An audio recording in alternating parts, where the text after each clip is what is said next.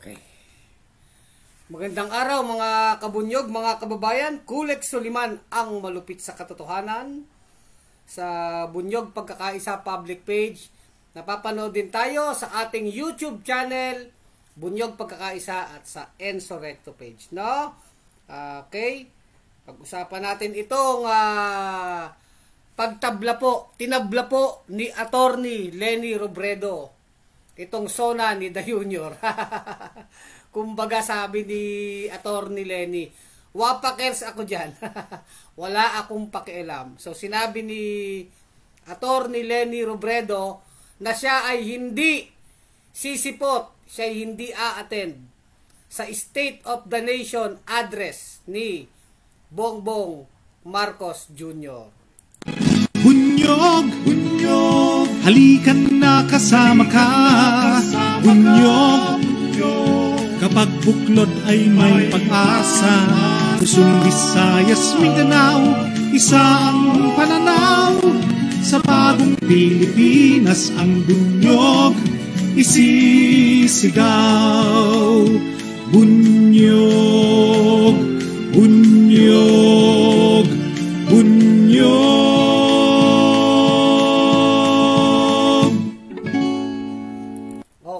kabunyog, i-share natin itong ating vlog ha, ah, para makaabot sa mga kaisipan ng ah, sambayan ng netizens, no? Para marami ang ano, ah, naiiwasan ng mga fake news at mga propaganda, eh, i-share po natin ang lagi ang mga vlog ng bunyog, no? Ang Kulex vlog, ang malupit sa katotohanan. Ayan, no? Sam Huwag niyo sabing ako yung dilawan ha, dahil ako yung nakadilaw ngayon. No? Ayan? Kaya nilagyan natin yung pink yung motif, no?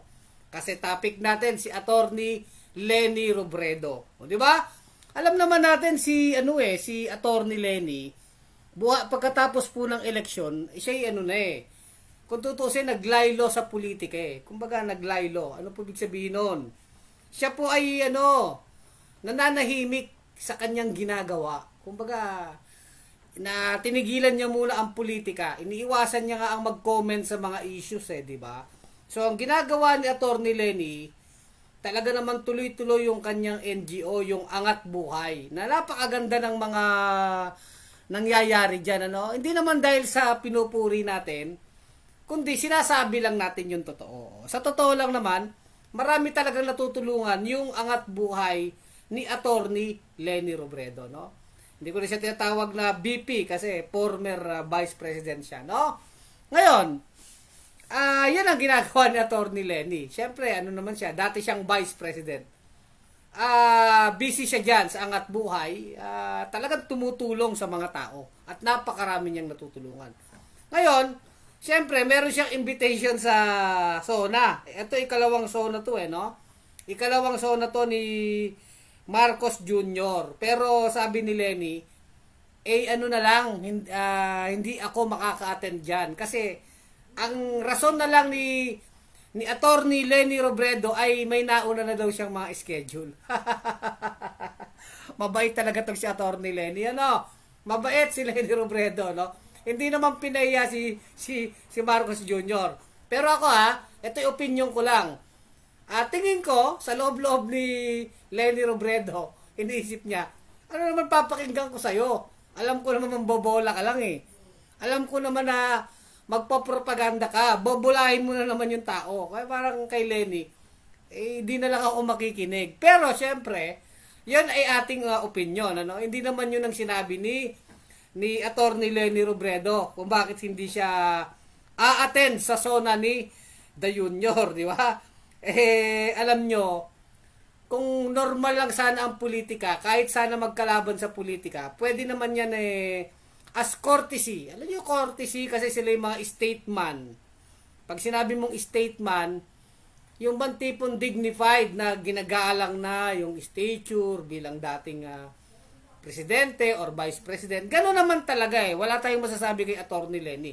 Yung kanyang pagiging stateman, nandyan yon maintain niya yung dignity. Kahit na siya hindi na vice presidente, napangalagaan niya yung dignidad ng kanyang pagiging uh, lingkod bayan. So dapat ganun eh ang mga matataas na opisyal ng gobyerno, pag nag pag nawawala na sa politika, dapat dapat na maintain yun. Yung dignidad tsaka yung respeto ng publiko sa kanya, no? Sang-ayon ka man sa mga politika niya o hindi, at least sana ganon. Pero sa kaso kasi na to, talagang walang uh, hindi normal ang ating politika dahil nga nakita niyo naman si Marcos Jr. eh historical ang kanyang pagkakabalik sa pwesto dahil yung tatay niya na magnanakaw, pamilyang magnanakaw, diretsuin na natin, huwag kayong magagalit, mga pulangaw. Ha, magnanakaw talaga ang pamilya Marcos, ayaw niyo sa gusto, magnanakaw yan, nakabalik sa kapangyarihan. Pagkatapos patalsikin sa EDSA. At alam naman ng buong mundo na kaya nakabalik sa kapangyarihan si Marcos Jr. ay dahil sa panloloko sa taong bayan, katakot-takot na fake news, binago yung kasaysayan, yung historical revisionism, di ba? Oh, yung ginawa silang kawawa, sila ang inapi, sila ang bayani, di ba? Ganun ang pinalabas nila sa taong bayan.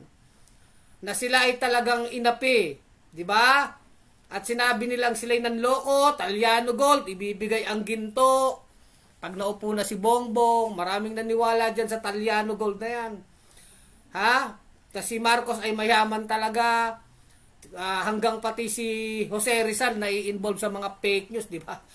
Na si Jose Rizal ay kliyente ni Marcos Sr., no? Nagmana si Marcos Jr. ng katakot-takot, tunet-tuneladang ginto, di ba? Na ibibigay lang sa Pilipinas. Babayaran ng mga Marcos ang utang ng Pilipinas pag naging presidente ang kanyang anak na graduate sa recto. si Bongbong Marcos Jr. Ayan, yan ang mga pa-fake news nila eh.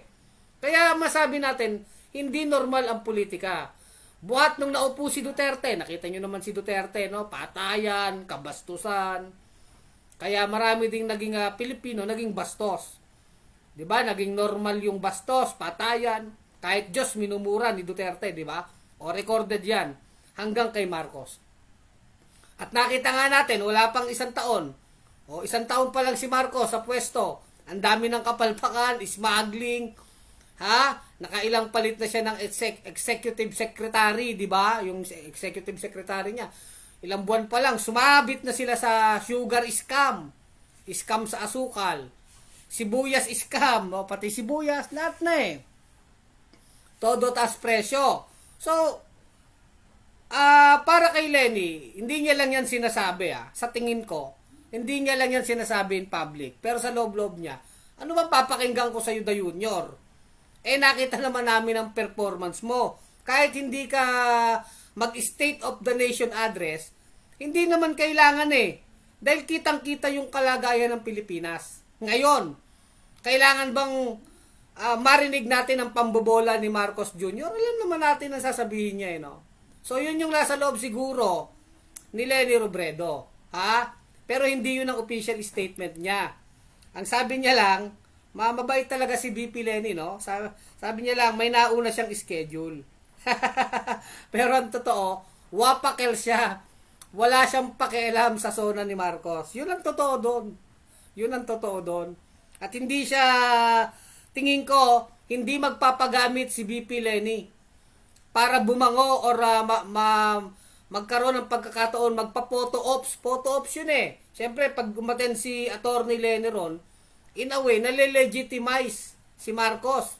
Para ko, unity. Oh, kita mo, napapaten niya. Unity, di ba? Yan ang gusto ni Marcos eh, ipakita na unity. Pero ang totoo, hindi naman unity. Unitives. Oh. Ano ibig sabihin ng unitives? Nagkakaisa sila ng mga magnanakaw at abusado. Pero nagkaaway din sila, kagaya si si Sara Tambaloslos. Si Sara walang AIDS, laban naman sa pinsan niya, si Romualdez. 'Di ba? Nagkaahasan eh, nagkaahasan diyan sa speakership. Ang matatandaan natin, inaahas ni Gloria yung upuan ni Martin Romualdez bilang speaker. Ang kakampi niya diyan si Inday. Si Inday Tambaloslos walang AIDS. Kaya nga nauso na yung Tambaloslos na yan, di ba? Pinaringgan ni Inday si Martin. Ikaw, yung ambisyon mo, ha? Huwag kang tambaloslos, sabi ni Inday. Pinapatungkulan niya ron. Yung pinsan ni Marcos Jr si Martin Romualdez. Kasi ito naman si Martin Romualdez parang pumaporma na sa national election. Kasakasama ni Marcos, Kumbaga makikita mo yung galaw na pumoporma na sa mataas na posisyon.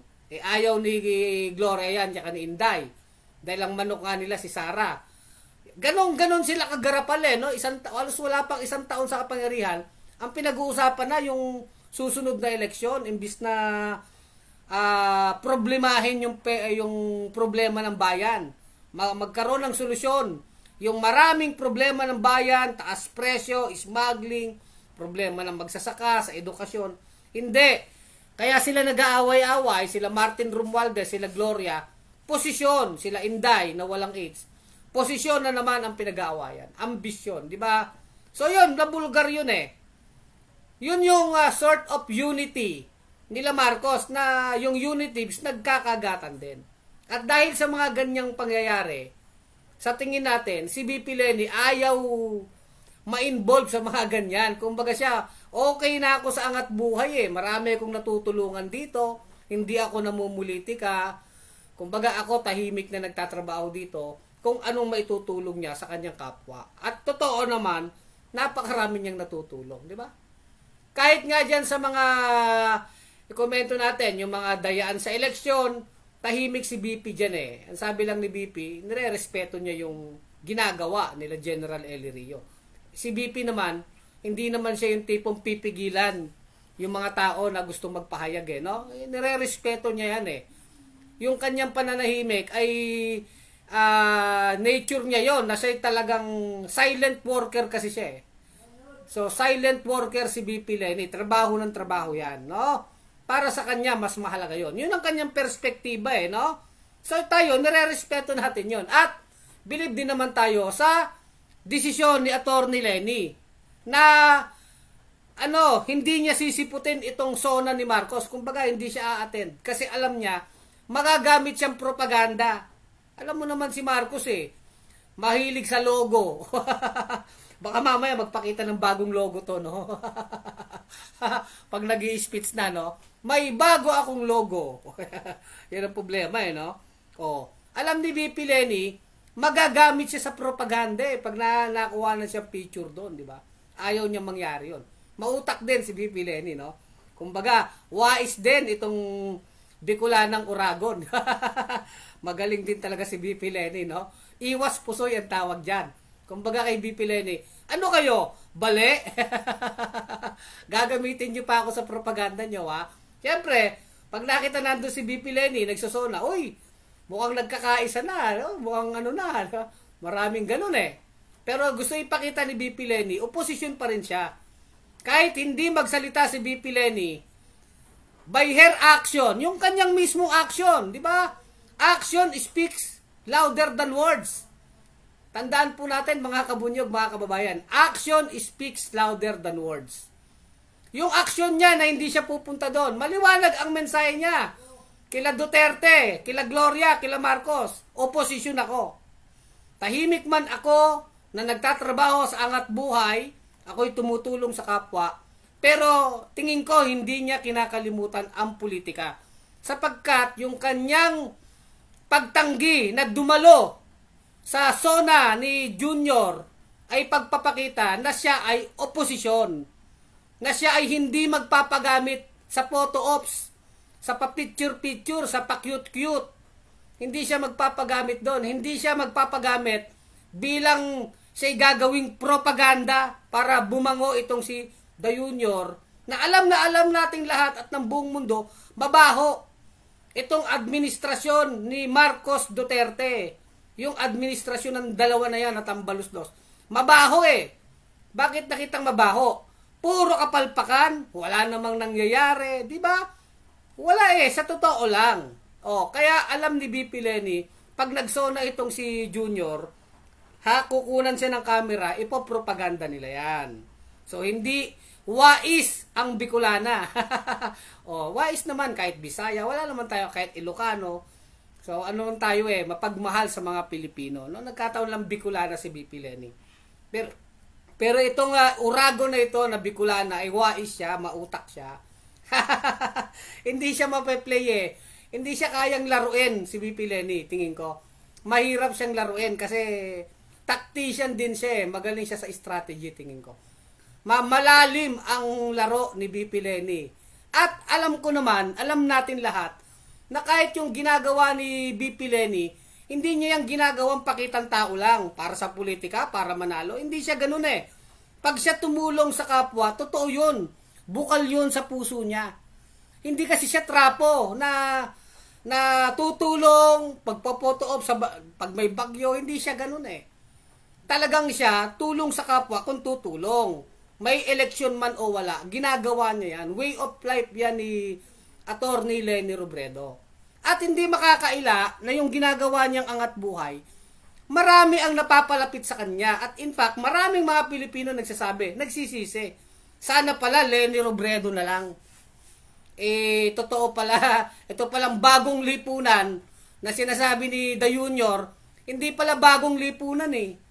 Alam niyo kung ano? Bagoong lipunan. Natawa nga ako dun sa picture, no? Sana nilagay ko pala dito, no? Yung alam niyo yung drawing yung may bagoong lipunan. Niluto sa sariling mantika. Yan po ang ginawa ni The Junior at ni Inday Sara. Walang H. Imbis na bagong lipunan, bagoong lipunan o pwede ring bigong lipunan o gagong lipunan. Yan po nangyari. Bagoong lipunan, mabaho, niluto sa sariling mantika ang mga Pilipino.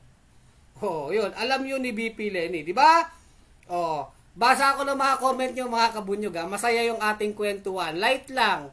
Ako kasi hindi naman sa pinupuri natin si Atty. Lenny. Kumbaga, nakikita naman kasi natin yung ginagawa niya eh, na pagtulong sa kapwa. At hindi niya yung ginagawa dahil sa politika. Hindi niya yung ginagawa dahil sa politika. Ginagawa niya yan kasi yan yung tama eh. Yan yung puso niya, yung tumulong, angat buhay. Alam mo naman, si BP Lenny, kahit nung kinuha siya sa housing ni Duterte, binastos pa nga siya dyan, di ba? For a while, kinuha siyang uh, gabinete ni Duterte. Kaya lang, hindi rin nakatiis yung sila Duterte, binastos din si BP Lenny. Basta na lang tinanggal sa gabinete. Text message nga lang yun, natatandaan natin, no?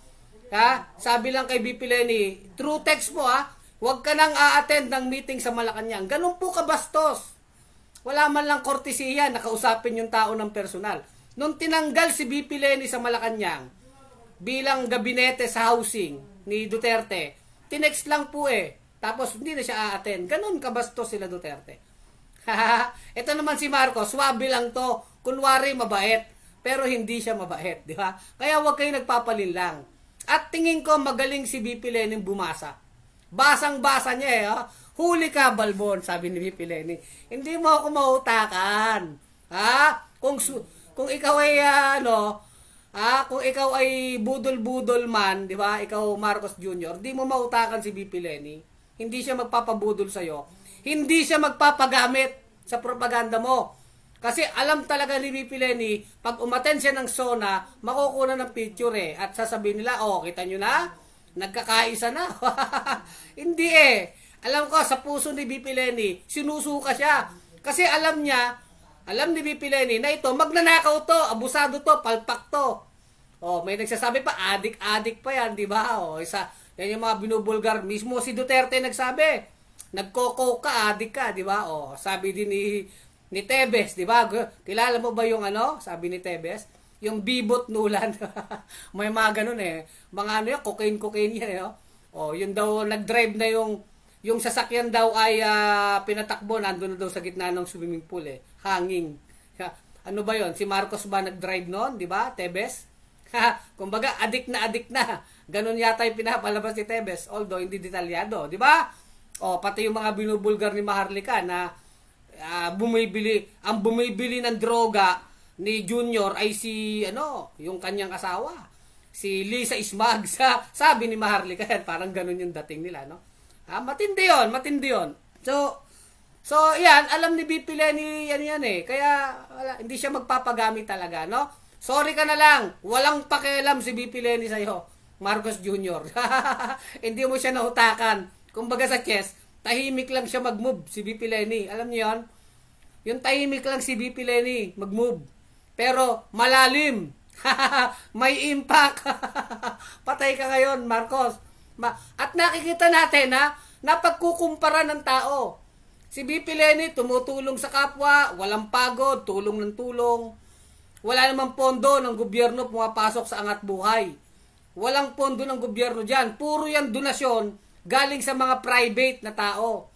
Galing sa mga kumpanya na private na gustong tumulong, naniniwala doon sa kanyang advocacy. At nakikita kasi nila, yung idinodonate sa angat buhay, nakakarating talaga sa tao.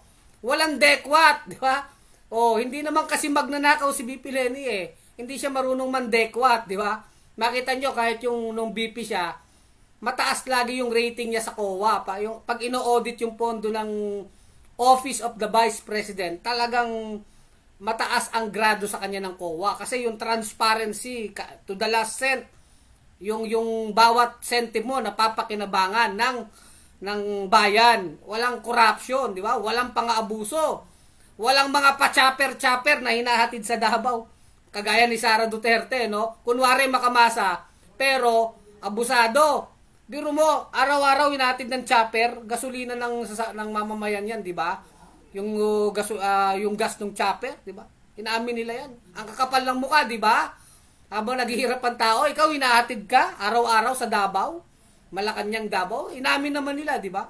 Ganyan kakapal mukha ni ni Inday Sara walang AIDS. Kasi, kasi nakukumpara natin, Vice President siya. Eh, nung panahon din ni BP Lenny, wala naman siyang Intel-Intel fund. Di naman niya trabaho yun eh. Si itong Sara walang AIDS, may Intel fund dito. Oh, ang kapal-kapal ng muka. Oh, 'di ba? Magkano na 'yung nagastos niya sa Intel fund niya? 100 million na ba 'yon? Ang nagastos niya, di man alam kung saan napunta. Si BP Lenny, wala namang Intel fund diyan eh, di ba? Etong si Sara walang AIDS, 550 million ng confidential fund dito. Gusto yatang magpulis nito. Mag-imbestiga. Lahat sa kanya, NPA na. Ganyan si Inday. At siyempre, kasabot niya si Marcos, di ba? Ganun lang po yan eh. Nakukumpara natin eh. Kaya hindi tayo nagtataka, talagang wapakel si BP Lenny sa zona ni The Junior, di ba? O, mga kabunyo, gabang nanonood kayo, i-share po natin itong ating vlog, no? Para dumami naman yung nanonood sa atin maraming maraming manonood sa atin. I-share nyo po sa inyong GC, sa inyong group chat, sa inyong groups, sa, uh, sa messenger, sa lahat ng mga friendship natin sa internet. I-share po natin itong Kulets Vlog, Bunyog Pagkakain sa public page, yung mga nanonood sa Ensorecto page, at sa sa YouTube channel, no? yung mga followers natin sa YouTube channel, Bunyog Pagkakaisa. I-share po natin, i-follow natin itong ating vlog. No? At sa mga nakakaluwag-luwag, i-click nyo lang po yung star sa baba. Bawat stars po may value yan. Malaking tulong yan sa pondo ng bunyog. Click nyo yung star sa baba. Tulong nyo yan. At sa 24 po, sa lunes, People Sona. Kung si, si, si Junior, magsosona sa loob ng bu, mga kural ng buhaya. kural ng buhaya, no? Diyan sa Tongreso, ha, Tongreso tawag natin diyan. Oh. Maraming buhaya diyan. Makikinig sa kanya, mga kapwa niya buhaya. Doon siya magsosona. Magbobolahan sila doon, alam natin. Papalakpak yung mga congressman na buhaya sa kanya, sigurado tayo doon. Magbobolahan sila eh, di ba? Pero alam nila, pare-parehas naman silang mga kawatan at magnanakaw. Tayo magsosona din. Pero people sona, yung totoong sona. Totoong State of the Nation address. People sona po yan, Ju- July 24 sa lunes, alas 10 ng umaga, magkita-kita tayo Commission on Human Rights sa Commonwealth Avenue. Tapos marcha tayo papuntang Tandansora. No? Alas 10 ng umaga sa lunes po. At sabi, rain or shine ito, kahit umuulan, magdala ng kapote, ng payong, hindi tayo mapipigilan sa ating totoong state of the nation. Totoong zona yung sa atin, people zona. Ano ba yung totoong nangyayari sa Pilipino, sa Pilipinas, sa sambayan ng Pilipinas? Diyan po yan magaganap sa ating people zona, ang totoong kalagayan ng Pilipinas. Diba? Hindi yung zona ng mga buhaya na nagbobulahan. Bawat bawat boladas ni Marcos, tayuan yung mga congressman ng mga buhaya. Palakpakan sila. ang galing mo talaga, the junior. Bawat bawat ngiwi, siguro kahit ngingiwi si Junior, ngumingiwi yan, magpapalakpakan yung mga congressman, di ba? Nagbobolan sila. Alam naman nila sa mga sarili lahat sila mga magna, mga kawatan. Kaya nga nagalit na si Magalong dyan sa pork barrel eh. Kasi mga magnanakaw yung mga congressman na yan. Maniwala kayo, 90% ang magnanakaw dyan. Meron ba diyang matino, mga mangilan-ngilan na lang. Ano? Sa totoo lang ha? O, kaya sila, pare-parehas naman magna yan eh. Wala, wala na tayong papakinggan sa kanila. Dahil yung maharlikapan lang, niratsyada nila.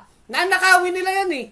Nanakawin naman nila yung maharlikapan eh. Di ba? Bilyon-bilyon yan. Garapalan na yan eh. Kaya lang, ilan lang naman ang against dyan? Anim na congressman, oposisyon, di ba? Sa Senado, isa lang, si Risa Ontiveros lang. O, di alam na this, di ba? O, sabi ni Emma Abadilla, ang aking presidente, presidente Lenny Robredo. O, salamat po. O, talaga naman, eh, no? O, kantayin nyo na yan, o, kakampix muna tayo. Ito ang aking pinuno, o. Eh, wala naman ang eleksyon, eh, na aalala lang natin yung mga hirap din natin nung kampanya. At tayo naman, hindi naman tayo panatiko ni Lenny Robredo. Masama naman ang panatiko. Yung sa atin ay kung ano lang naman ang totoo. Hindi naman tayo bu- bulero. Hindi naman sumisip-sip tayo kay BP Lenny. Hindi. Sinasabi lang natin kung ano ang totoo. Obligasyon natin yan sa bayan eh. Dito sa Kulex Vlog, malupit sa katotohanan, sinasabi ko lang yung totoo. Hindi dahil sa binobola ko si Lenny Robredo o kailangan tayo sisip-sip. Hindi ganun eh. Hindi rin tayo panatiko ni Lenny. Hindi tayo panatiko ng kahit sinong politiko. Pag mali-mali, pag tama-tama. Di ba? O, kasi marami nagsasabi, paano kung si Lenny ang presidente? Babatikusin nyo ba? Oo! Diretsahan. Kung mali ang ginagawa ni Lenny, kung siya ang presidente at nakita nating may pagkakamali sa kanyang administrasyon, babatikusin natin yan kasi mali. Hindi tayo titingin sa personalidad. Pero nakikita naman natin si BP Lenny, hindi naman kasi siya kurap. Wala siyang kaso ng korupsyon. Eh yun ang totoo na talagang si BP Lenny malinis. Malinis ang kanyang pagkatao. Matino ang kanyang pamilya. Matino ang kanyang mga anak. Eh nakikita yun eh. Yun ang totoo. Yun ang sasabihin natin. 'Di ba? Hindi dahil sa nambobola tayo o panatiko tayo ni Lenny. Hindi. Basta kung ano ang totoo. Yun lang, 'di ba? Kaya tayo, pag sinasabi ng mga dutage, ng mga pulangaw, ay panati ko ni Dilawan, ay kakampings, kakampuet, di ba? Baka kayong kakampwet, ang babaho ng mga bibig nyo at utak nyo. Ha? Sa bunyog, kung ano ang totoo, kung ano ang tama, kung ano ang mabuti, yun ang ipaglalaban natin. Kung may mali dyan, batikusin natin. Kahit Lenny yan, kahit Marcos yan, kahit Aquino yan, kahit Duterte pa yan. Pero never, never, never tayong magpe-fake news. Hindi tayo magpapakalat ng kasinungalingan. Sinasabi lang natin ang totoo. At sa dalawa na yan, no, tignan niyo yung mukha ni Junior. Yang isang Junior na yan, yan Junior na yan, magnanakaw yan. Magnanakaw ang pamilya niyan at magnanakaw yan ngayon. O, di ba? Si Lenny, wala namang ninakaw. Malinis naman talaga. Eh, yun ang totoo. O, kahit magalit kayo mga pulangaw kayo, yun ang totoo. Saksak nyo sa baga nyo ang katotohanan. Wala kayong magagawa. O, hindi dahil sa sip-sip kay Lenny. Hindi ganun yon Kung ano ang totoo, di ba? At maliwanag ang sinasabi ng bunyog. Kahit sino ang politiko, basta mali, mali. Wala tayong pakialam kung sinong masasagasaan. Di ba? Kaya lang, totoo lang kasi talaga, si Duterte, mamamatay tao. Eh, totoo naman eh. Bastos, totoo naman eh. Oh, bakit? Diretso na eh. Si Marcos, magnanakaw, palpak. Oh, totoo naman eh. Oh, bakit ba tayo hindi na tayo magtitimpi ng mga salita eh, di ba? Oh, si Duterte traidor, tuta ng China. Eh totoo naman eh. Si Marcos balimbing. Oh, ayaw magbayad ng buwis. Anong tawag mo diyon? Oh, sa ayaw magbayad ng buwis, balasubas. Oh, balasubas naman talaga eh. Oh, di ba? Sa totoo lang. Si Lenny, may kaso ba ng katiwalaan? Wala. Kurap ba siya? Hindi. May ninakaw ba siya? Wala. Eh, wala naman kasi talaga eh. Malinis talaga eh. Yun ang totoo, di ba? O mga pula nga, walang iyakan ha. Kasi sabi ko lang totoo dito. O. Kaya wag yung sabihin ano, panatiko ang bunyog. Wala, hindi kami panatiko ng kahit sinong politiko. At hindi kami nababayaran. Miski 5. Dito po, ako po ang ano ha, sabihin ko sa inyo, in all humility at buong pagpapakumbaba.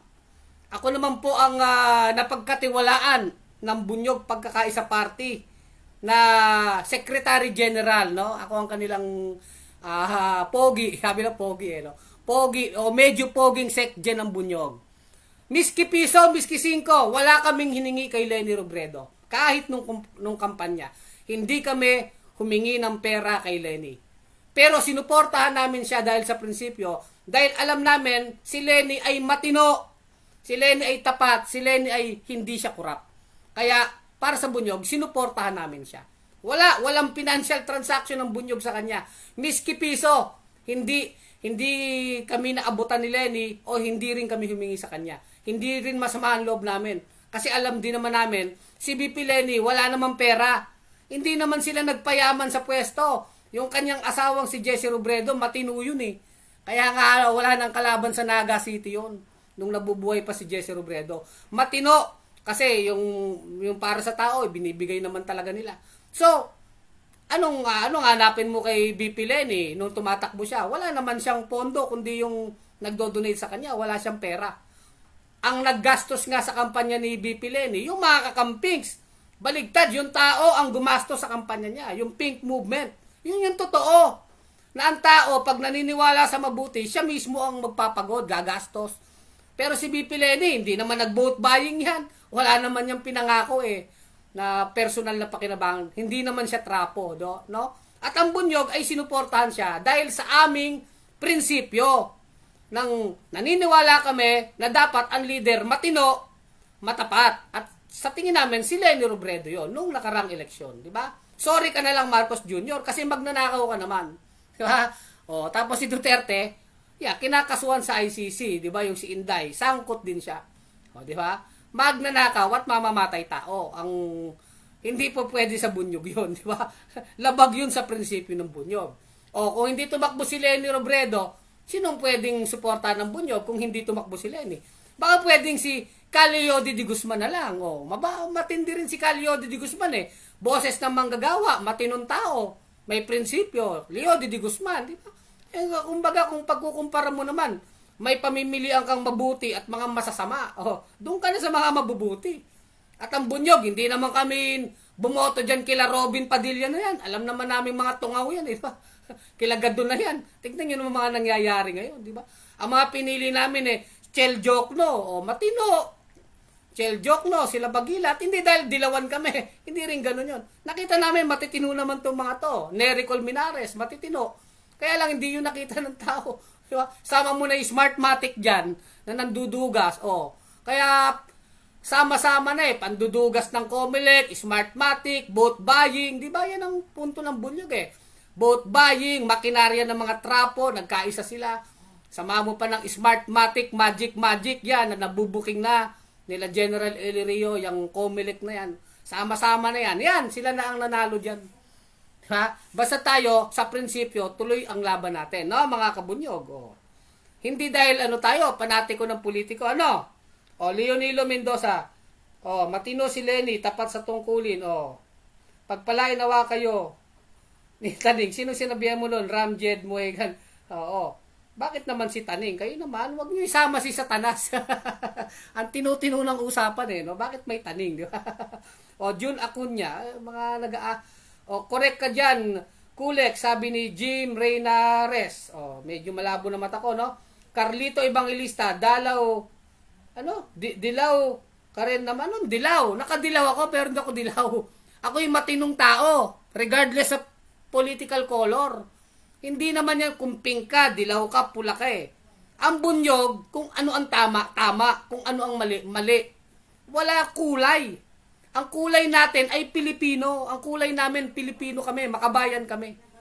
Pagmamahal sa bayan. Kung ano ang tama at makabubuti sa bayan, yun ang prinsipyo ng bunyog.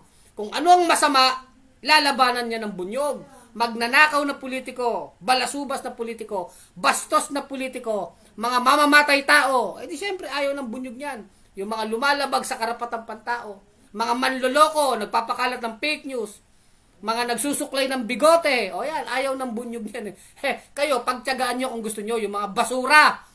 Pero sa bunyog, yung mga basura, dapat itapon eh. Basura nga eh. Kayo naman mga pulangaw, ng mga dutards, pagka basura, eh gusto nyo ano eh, gusto niyo ano, eh, naliligo kayo sa basura. Kaya mga basura yung mga yung mga ina-idolize nyo, alam nyo ng basura, di ba? eh sa bunyog hindi pwede yun eh. Pag basura, itapon mo.